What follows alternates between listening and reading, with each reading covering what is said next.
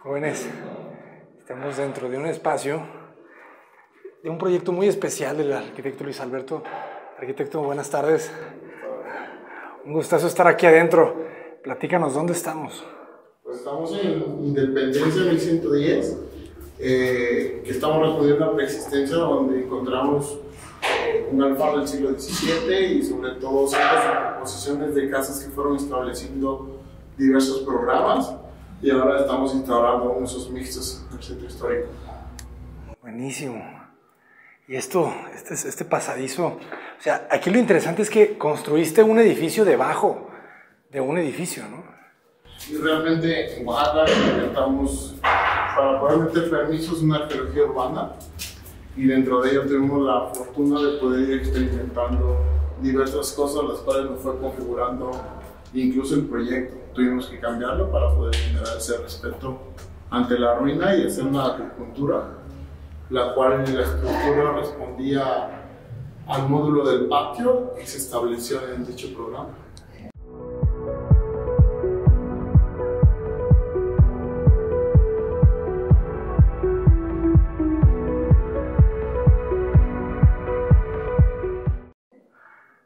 Increíble. Aquí, por ejemplo, este, este pasillo lúgubre pero iluminado, ¿a dónde nos lleva? Este es una galería, ¿no? Que nos lleva a una mezcalería donde entendemos los dos alfares del siglo XVII. ¿Y dónde están?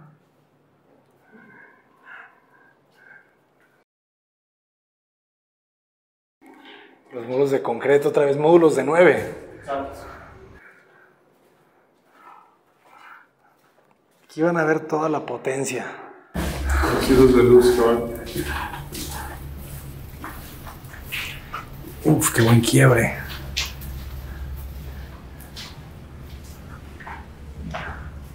Aquí tendremos, este era un pozo ¿no? de agua y nos está subiendo el arquitecto y tendremos el primer alfaro. Aquí podemos, estamos en la parte baja. ¿no? Lo que hicimos también fue entender que el, el nuevo programa pues, no tendría que sentirse como un espacio tan oscuro. Generamos esta apertura. Aquí el patio, ¿verdad? El foso de luz.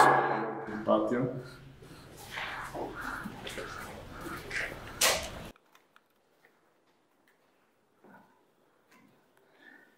Y el reto de que la nueva estructura no podía tocar No puedo tocar la posición. la preexistencia.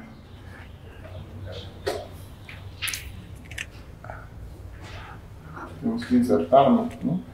Abajo y arriba, ¿no? Y se despega. ¿Cuánto se despega de los colindantes? Pues el terreno es completamente irregular, no hay muros perpendiculares, entonces va variando. Ok.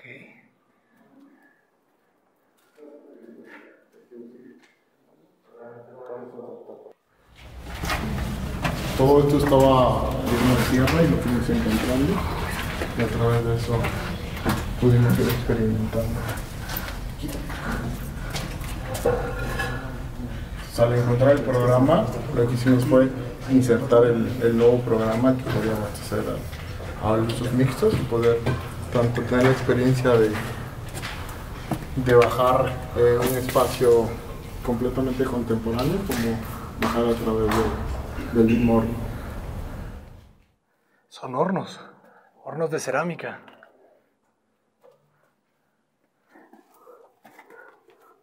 Qué buenos quiebres aquí.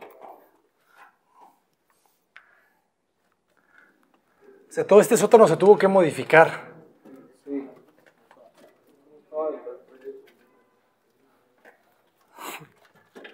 Vean esto. ¿Cómo, se, ¿Cómo no se tocan?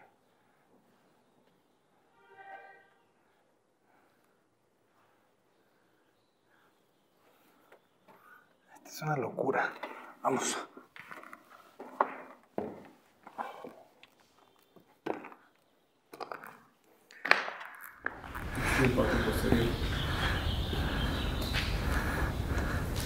De ahí ya podemos observar el primer alfar y el segundo, el cual cómo funcionaba. Se no se imaginaban que los iban a encontrar cuando empezaron. No, el nivel de terreno era a 20 centímetros más. Entonces todo esto era cantera y cuando fuimos excavando encontramos uh, las cosas. ¡Qué locura! El ancho de los muros, ¿verdad? ¿Cuánto miden? Pues va variando, hay muros desde un metro Su madre. ¿Y cómo es trabajar con el Lina? De la, de la mano del Lina, ¿verdad? O sea, Sí, sí, no. o sea, al final de cuentas, primero respetar todo lo que de cierta forma van imponiendo y sobre todo pues para tener un proyecto que, que sí tenga esa soltura y el ejemplo de cómo puede realizar. ¿y cómo? Qué loco está esto. Cambiaron obviamente los ladrillos, ¿no? Lo que hicimos fue coronarlos. De ahí para ahí todo es tal y como estaba. Vientos. ¿Y cómo van a terminar estos muros? Los muros van a quedar tal y como son. Eh, solamente estamos consolidándolos a base de cal. Y este, el mismo color de la cal, no queremos imponer un, un tono, sino que la pátina de los diferentes usos del proyecto sean los que nos establezcan. Se ve muy bien. Y otra vez la cantera verde, ¿no? Era la cantera de la misma cimentación, de todo lo que ya existía, estuvimos estableciendo. Y la intención era que la piedra tenía que ser muy burda, ¿no? que tuviera ese carácter antiguo, Sí, nada lisa, ¿no? Nada trabajada. que sí te remonte a entender un espacio pues, con cierto carácter. ¿no? Totalmente. Entonces todos estos espacios están conectados a través de este gran patio. ¿Cómo van corriendo? ¿Y cómo fue el trabajo aquí con el, con el estructurista, con el encargado del, del que acero? no queríamos tener una, una columna que fuera tan sólida, nos permitiese seguir observando esa ligereza del espacio. Entonces, pues está formada de cuatro ángulos de dos pulgadas de media, arrastrado por un PTR de dos pulgadas, y que a su vez todo responde también a un diafragma, ¿no? donde más necesita ir tan más corto y donde lo voy a necesitar otra vez.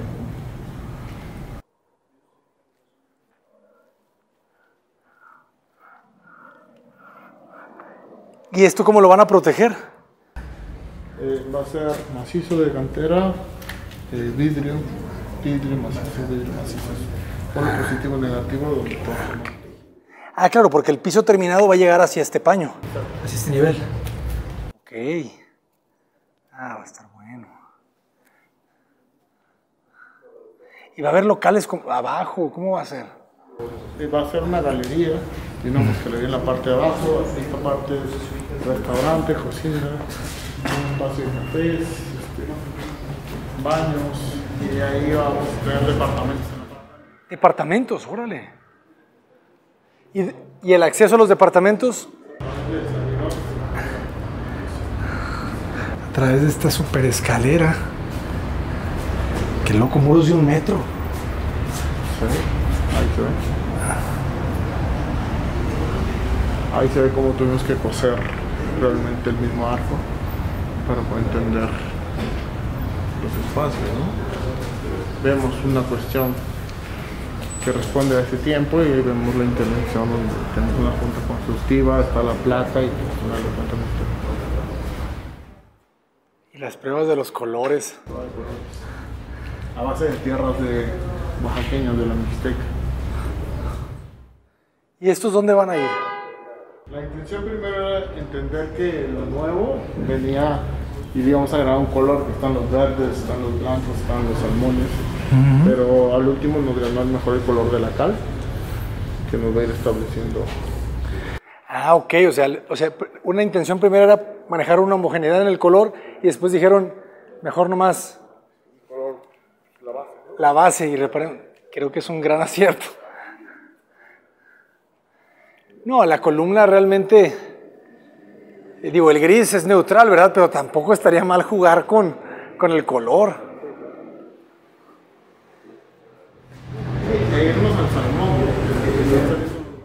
Sí, sí, sí. O a ese, o a ese verde, aqua, ¿no? También. No, es que aquí te dan una oportunidad buenísima para jugar. Y es algo muy interesante porque estoy pensando, por ejemplo, ciudades donde no existe esta cultura, por ejemplo, el fuerte, eh, más hacia el norte, que todavía no existe esta, eh, pues esta cultura de la intervención arquitectónica en los, en, los edificios antiguos, ¿no? O sea, cómo que esté viendo a alguien que puede convertir realmente, ¿no? Algo que, parece una ruina en, algo completamente nuevo, pero sin perder, la esencia. La separación también allá de la luz, ahorita que salió el sol. Vean esto.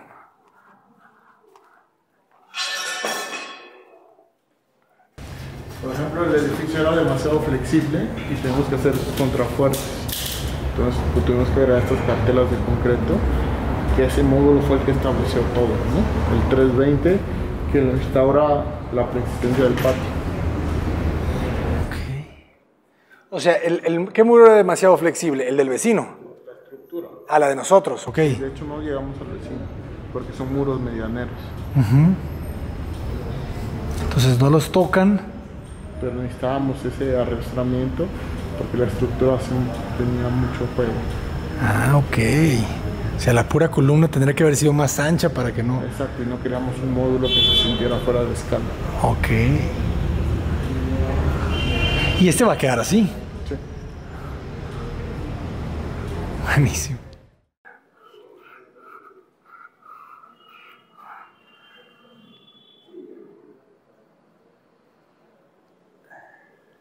¿Y esto va a quedar abierto? arriba tenemos un, los departamentos tienen una terraza a base de vidrio. Ah, ok. Entonces aquí, nada, cerrado. Sí. Ahí entendemos en el servidor un óculo, ¿no?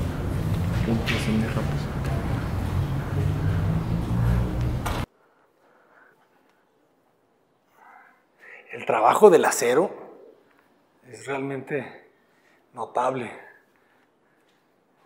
La escalera es de placa, pero con este PPR o qué es? Es un ángulo porque ahí viene la, la tira LED para iluminar todos los espacios. Ah, ok. O sea, pudo haber quedado la pura placa. Pudo haber quedado la pura placa. O sea, aquí me voy a ir a tomar un mezcal. Bajamos una escalera. Pero hay elevador por cualquier cosa. Genial. Ah, vean esto, jóvenes. Esta es la carnita. Otro PTR, placa. ¿Esto qué será? Placa de un cuarto, ¿no? De un cuarto. Cuarto, cuarto.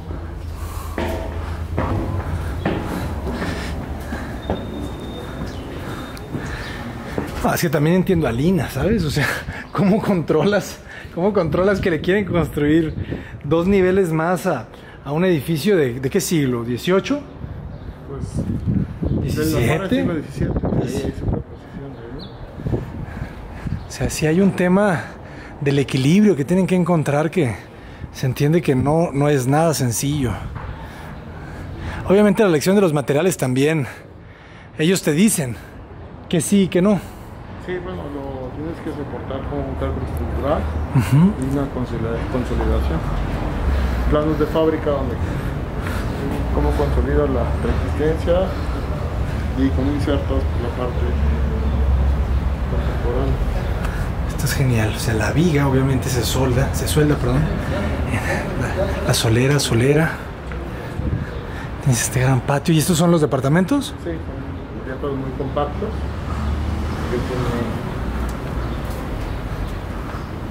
de cámara son enfocados básicamente es un hotel pero puedes tener básicamente todos los servicios esta es una habitación, es una habitación cabecera su baño, mini split barra de servicio una cocineta base eléctrica y su terraza que va a flotar de vidrio Ah. dependiendo de las persistencias. No va a llegar al muro, sino hacemos una juxtaposición en los diferentes puntos. Ok. Pero ¿dó- ¿dónde está la abertura? Arriba. En ambas partes. Esta va de de la persistencia, de los Gracias. nuevos hacia la persistencia, y la otra va al revés. Esto sí no lo entiendo tanto. O sea, entiendo el vidrio abajo, Sí. ¿verdad? Que no puede tocar a la persistencia. Que no puede tocar la persistencia, entonces respira un poco.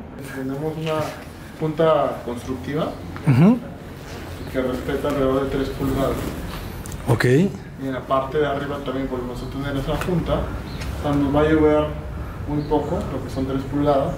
Y abajo tenemos unas jardineras para que la misma vegetación venga de, de planta baja hasta arriba. ¿no? Ah, o sea, vas a tener una, una, una enredadera creciendo también todo aquí. Exacto. Este no toca el vidrio, sino va a seguir. ¿Y si es suficiente la ventilación? O sea, en esa, esas pulgadas de, de separación. Sí, sí, sí. Ok. Al final, bueno, ahí no tenemos un programa establecido. Y tenemos pues, todas las ventilaciones. Va a ser como una corriente ligera, ¿verdad? Este es el baño.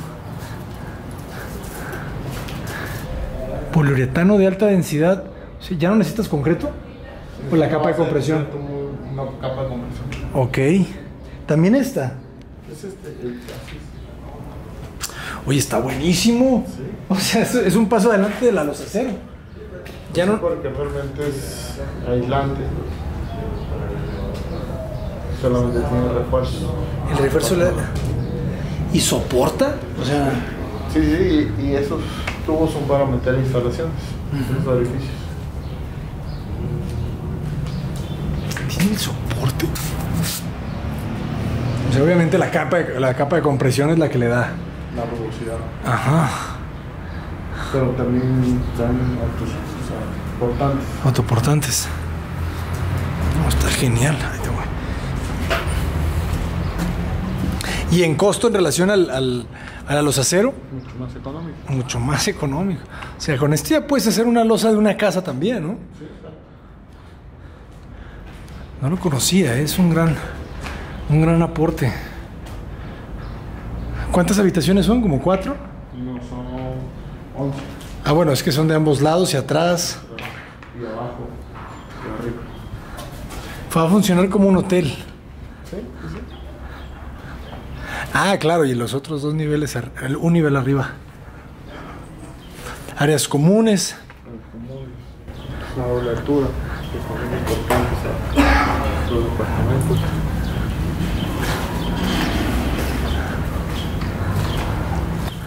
Qué buen remate. Ahí, la sierra.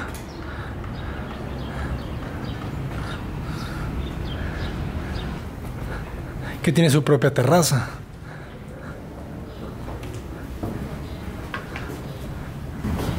Y ven hacia esta parte, que la resistencia que brutal.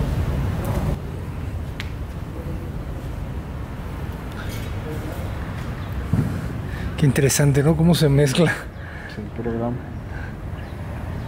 siglo XVI contra siglo XXI.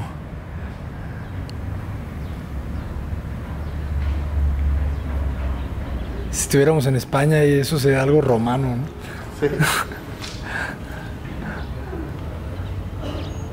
No, qué buen trabajo. ¿Es la primera vez que, que- que hacen este tipo de proyectos o ya han trabajado con preexistencias? Bueno, tú fuiste encargado, ¿cuál era tu labor? ¿Supervisor? Eh, director de arquitectura de la fundación. Excelente. Entonces ya tenías toda la experiencia en este tipo de, de proyectos.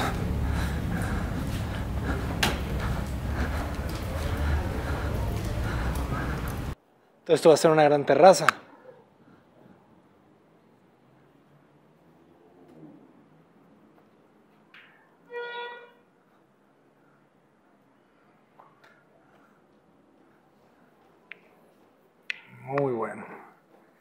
Ya están abrazando con la placa.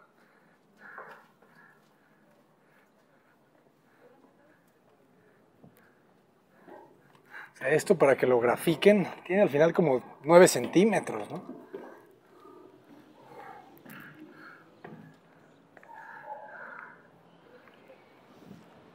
Insisto, me recuerda muchísimo antiguo Guatemala.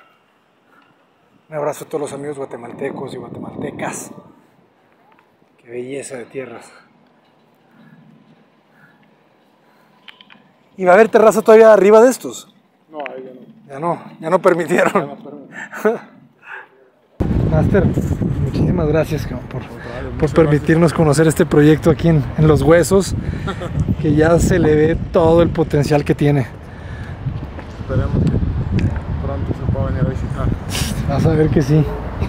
Jóvenes, vamos a dejar las redes sociales de los arquitectos, porque yo no sé ustedes, pero si yo tuviera un proyecto, un terreno, un, edificio de estas características, por favor contáctenlos. Aquí vamos a, dejar todas las redes, porque se necesita experiencia también, ¿no? Para trabajar este tipo de, de- proyectos. O sea, no es fácil.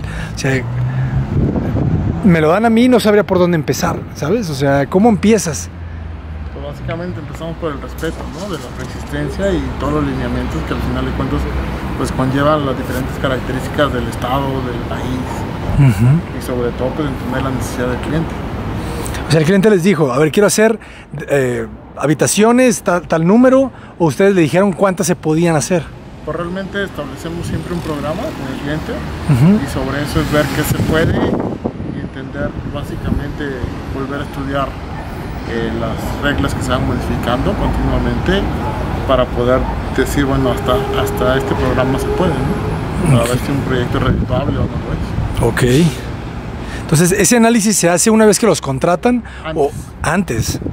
O sea, ustedes les dan ese servicio a los clientes. Servicio, sí, claro, porque realmente creo que la arquitectura es un servicio. ¿no? Que, pues, aunque no contraten, pues creo que es la labor de cualquier arquitecto, ante todo, pues decidir a qué se puede enfrentar la gente. ¿no? Esa orientación. Buenísimo. Arquitecto Luis, muchísimas gracias. Al contrario, Hasta muy pronto. claro que sí. Cuidado. No me resta más que decirles Cota Paredes. Adelante.